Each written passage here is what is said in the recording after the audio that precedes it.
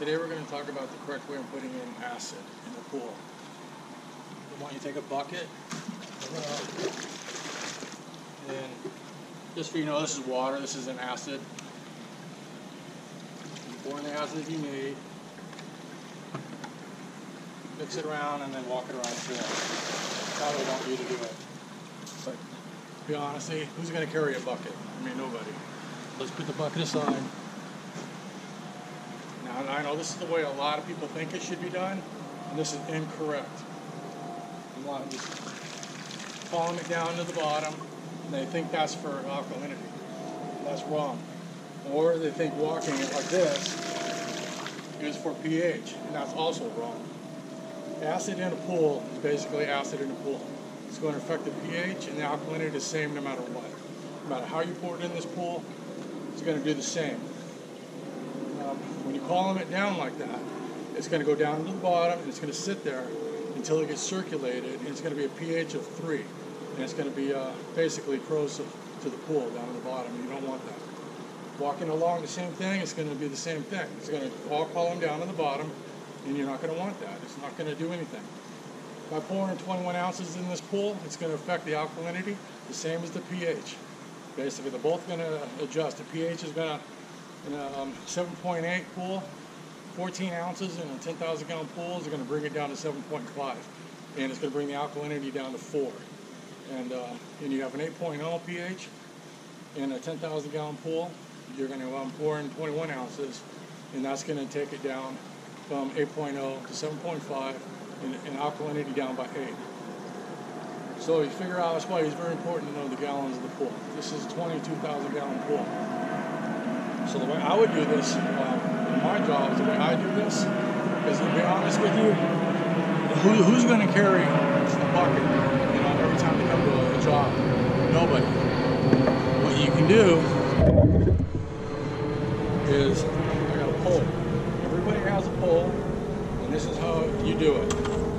So, get your pole ready, and then when you pour in, you figure out your acid, say 21 ounces of acid in this pool pour acid,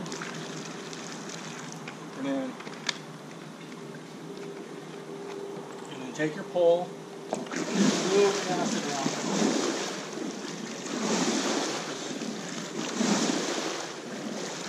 Stir the acid around in the pool.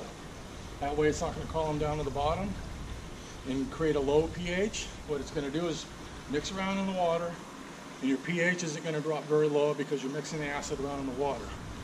So that's the major thing that why they don't want you to column it down like still a lot of people do. They just take the acid and they dump it down there and that's it.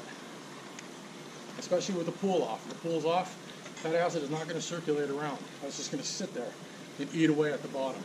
You don't want to do that. It doesn't matter. It's not for alkalinity and it's not for pH. This is not for pH.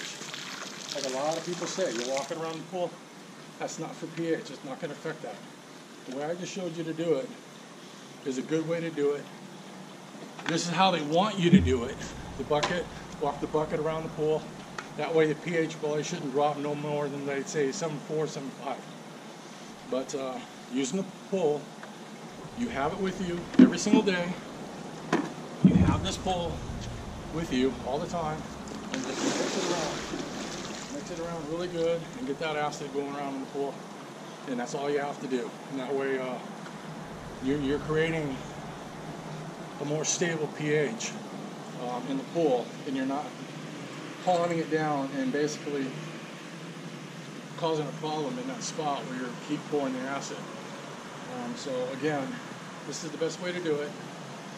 Um, this is how I do all my pools and and this is like the best way to do it. You have the pole with you all the time. You don't have a bucket with you all the time. So this is it. Again, um, 10,000 gallon pool, pH at 7.8. You want 14 ounces of acid. Um, 8.0 to 7.5, 10,000 gallon pool, you want 21 ounces of acid. And 8.2 to 7.5, again, you want 27 ounces of acid in the pool. We'll take it down to 7.5 and then do your multiplication on the, uh, you figure it out. If you got a 22,000 gallon pool, just double it or whatever, you know. But, uh, but that's it. All right. Thanks.